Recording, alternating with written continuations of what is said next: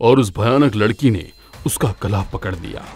मेघना खुद को छुड़ाने की नाकाम कोशिश कर रही थी और लगातार अपने हाथ पैर छटपटा रही थी। हैप्पी वैलेंटाइंस डे उसकी लाल लाल आँखें सुमित को घूर रही थी। उसका आधा जला हुआ भयानक चेहरा सुमित के बिल्कुल करीब था। सुमित के रोंगटे खड़े हो चुके थे। वो बहुत जोरों से चिल्लाया। उस लड़की ने सुमित के मुँह में हाथ डालकर उसकी ज़ुबान खींच ली। उसके मुँह से खून की धार निकली।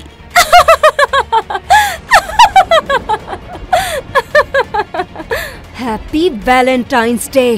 तभी हल्की सी रोशनी में उसको नज़र आया कि एक लड़की लाल साड़ी पहने हुए उसकी तरफ़ पीट करके खड़ी है। उसके बाल खुले हुए थे और वो बहुत ही भयानक अंदाज में हंस रही थी। एक कार तेज रफ्तार के साथ रोड पर गुजर रही थी। कार से म्यूज़िक की आवाज़ आ रही थी। सो मैं ड्राइव कर रहा था और मेघना उसके साथ ही बैठी हुई थी। क्या हुआ तुमको? इतनी तेज कार क्यों चला रहे हो? क्यों? डर लग रहा है।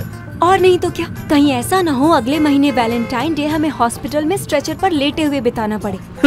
अप तभी मेघना के कान में पीछे से एक फुसफुसाहट सुनाई दी।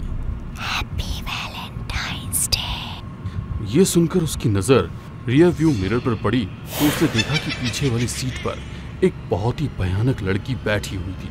उसने लाल साड़ी पहनी हुई थी। बाल खुले हुए हवा में लहरा रहे थे। उसका आधा चेहरा जला हुआ था और आँखें लाल लाल अंगारों के जैसी चमक रही थी। मेघना ने डर कर चिल्लाते हुए पीछे पलट कर देखा सुमित ने तभी ब्रेक लगा दी। क्या हुआ? मेघना पीछे देख रही थी। उसकी आँखें हैरानी से फटी हुई थी और पीछे की सीट पर अब कोई नहीं था। अरे क्या हुआ? कुछ बोलोगी भी? ऐसा लगा कि पीछे कोई है। अरे प्लीज़ यार अब जनवरी के मंथ में मेरा अप्रैल फूल मत बनाओ। कोई नहीं है पीछे। चलो। ऐसा कहकर सुमित ने कार फिर से स्टार्ट की। मेघना ने भी आगे कुछ नहीं कहा और उसने समझा कि शायद उसे कोई वहम हुआ होगा। कुछ मिनट बाद कार एक गेस्ट हाउस पर जाकर रुकी, जहाँ उन्होंने पहले ही रूम बुक कर रखा था। दोनों रूम में पहुँचे और फिर सुमित बोला, डार्लिंग, तुम खाना ऑर्डर करो। इतने में मैं फ्रेश होकर आता हूँ। ये कहकर सुमित बाथरूम में चला गया। मेघा ने कॉल लगाया और फिर डिनर ऑर्डर किया। जैसे ही उसने ऑर्डर करके फ़ोन रखा, कमरे की लाइट्स अपने आप ब्लिंक करने लगी और उसके सामने वही भयानक लड़की आकर खड़ी हो गई, जो कुछ देर पहले उसको कार के अंदर नज़र आई थी। उसे देखकर मेघना की साँसें मानो गले में ही अटक कर रह गई और धड़कने तेज चलने लगी। वो बहुत जोरों से चिल्लाई और उस भयानक लड़की ने उसका गला पकड़ लिया। मेघना खुद को छुड़ाने की नाकाम कोशिश कर रही थी और लगातार अपने हाथ पैर छटपटा रही थी। हैप्पी वैलेंटाइंस डे ऐसा कहते हुए उस भयानक लड़की ने दो झटके मारकर धड़ से अलग कर दिया। इस हादसे से बेखबर सुमित जब बाथरूम से बाहर निकला तो सामने का खौफनाक मंजर देखकर उसका दिल टहल उठा। मेघना की लाश ज़मीन पर पड़ी थी। उसके थोड़े से फासले पर ही उसका कटा हुआ सिर पड़ा था।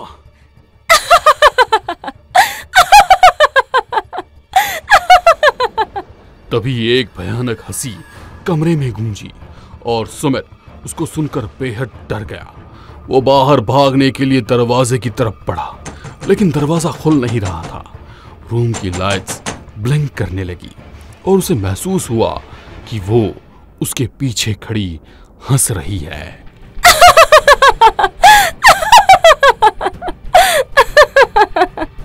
उसने पीछे पलट कर देखा तो वही भयानक लड़की उसके सामने खड़ी हुई थी। वो एकदम से सुमित के बिल्कुल करीब आ गई। उसकी लाल लाल आँखें सुमित को घूर रही थी। उसका आधा जला हुआ भयानक चेहरा सुमित के बिल्कुल करीब था। सुमित के रोंगटे खड़े हो चुके थे। वो बहुत जोरों से चिल्लाया। उस लड़की ने सुमित के मुँह में हाथ डालकर उसकी ज़ुबान खींच ली। उसके मुँह से खून की धार निकली।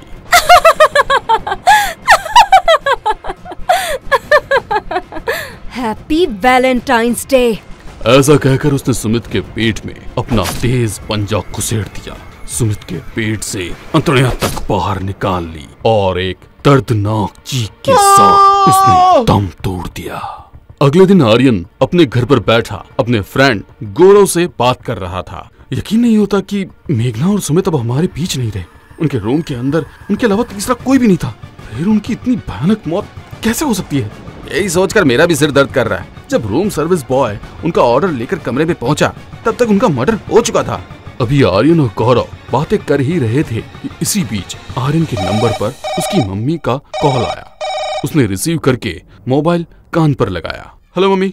आर्यन बेटा सृष्टि की मौत तुम्हारे लिए एक बहुत ही बड़ा हादसा था। मुझे पता है तुम उससे बहुत प्यार करते थे लेकिन मैं और तुम्हारे पापा चाहते हैं कि तुम उसके गम से बाहर आओ और दूसरी शादी कर लो। मम्मी आप ये कैसी बातें कर रही हैं? मैं सृष्टि को भूलकर किसी और लड़की के बारे में सोच भी नहीं सकता। नहीं, आर्यन बेटा, इतनी बड़ी लाइफ तुम अकेले कैसे गुजारोगे? लड़की अच्छी है। उसकी पोस्टिंग तुम्हारे सिटी दिल्ली में ही हो रही है। तुम हमारे कहने पर एक बार उससे मिल लेना, बाकी तुम्हारी मर्ज़ी। आर्यन, उसकी बीवी सृष्टि को भूलकर किसी और से शादी करने के लिए तैयार तो नहीं था, लेकिन मम्मी के कहने पर वो उस लड़की से मिलने के लिए मान गया। अगली रात आठ बजे के टाइम आर्यन हॉल में बैठा। उस लड़की के आने का इंतज़ार कर रहा था। कुछ देर बाद डोरबेल बजी और उसने उठकर दरवाज़ा खोला। सामने वही लड़की खड़ी हुई थी जिसको आर्यन के पेरेंट्स ने भेजा था। लड़की काफ़ी खूबसूरत थी। Hello Aryan. I am Ragini. या प्लीज़ कम आर्यन ने उसको घर के अंदर लिया और दोनों हॉल में बैठकर बातें करने लगे। उस टाइम गौरव अपने घर पर हॉल में बैठा मूवी देख रहा था।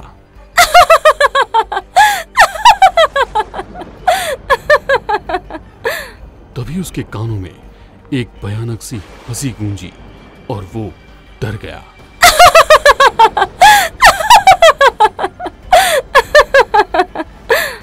आवाज़ फिर से आने लगी, पर अब उसने टीवी ऑफ़ किया और इधर उधर नज़रें घुमाने लगा। लेकिन हॉल में उसके अलावा कोई और नज़र नहीं आ रहा था और हँसी की आवाज़ बराबर आ रही थी। कौन है? कौन है यहाँ पे? उसने डरते हुए सवाल किया, लेकिन अभी भी कोई सामने नहीं आया। तभी हॉल की लाइट ब्लिंक करने लगी और उसका डर और भी ज़्यादा बढ़ गया। कौन है? सामने आओ सामने आओ मेरे। तभी हल्की सी रोशनी में उसको नज़र आया कि एक लड़की लाल साड़ी पहने हुए उसकी तरफ़ पीट करके खड़ी है। उसके बाल खुले हुए थे और वो बहुत ही भयानक अंदाज में हंस रही थी।